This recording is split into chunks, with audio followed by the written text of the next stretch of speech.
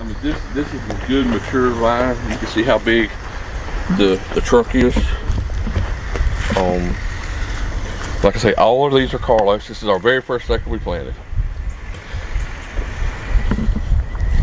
What is it, 233? 214 plants per acre. 240 plants Yes, per I remember. It's like always that way on, on every. When, well, when, when as we started growing, we knew that we had to go um, 10 feet apart, and then each row was theoretically supposed to be 20 each plant.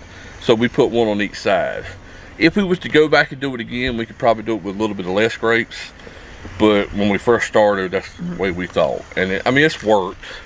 Yeah. Um, a lot of work to actually keep, you know, the, you know, a Carlos will produce anywhere from three to five tons of grapes per year, um, whole grapes. And to keep them going, they get heavy. We have to. We're, we're constantly out here working on the, the, the trellises, um, keeping them up. We've added poles in the middle to help hold some of the weight up. Um, and it's easier to work on. Like after I prune, I've cut a lot of the, the grapes and stuff, the, the vines out of the way, so they can see what they go got going on. You know.